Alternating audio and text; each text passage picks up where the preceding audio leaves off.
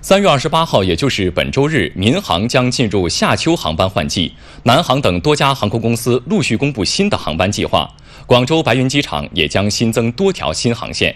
而随着国内疫情继续呈现稳中向好的趋势，清明、五一假期出行需求随之升温，预计五一黄金周有望成为今年首个出游高峰。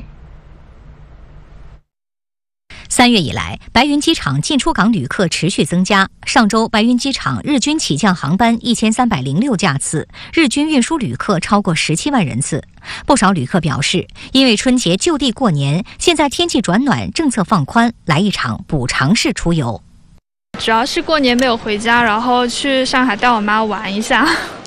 随着国内疫情稳中向好，今年清明节、五一黄金周旅客出行意愿较强，热门航线票价也强力反弹。比如西南方向的呃成都啦、重庆啦，大概都在七点五折以上，价格大概在一千二以上吧。海岛方面的话，就是海口、三亚，五月一号左右都是全价出售的。三月二十八号，民航将迎来夏秋新航季。南航将新增广州往返柳州、广州经停呼和浩特至海拉尔等多条新航线，并加密北京至广州、广州至杭州、广州至南京等航线的航班班次。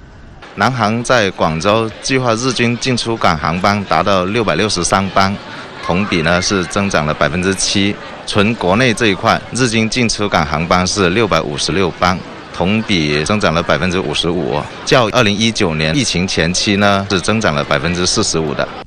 目前，南航国内航班除乌鲁木齐、西安外，均已开放自助值机、线上选座等服务。旅客在自助值机和行李托运后，可使用身份证一证通关进行安检和登机。白云机场提醒，新航季有些航班可能调整了航班时刻，旅客购票出行需仔细核对。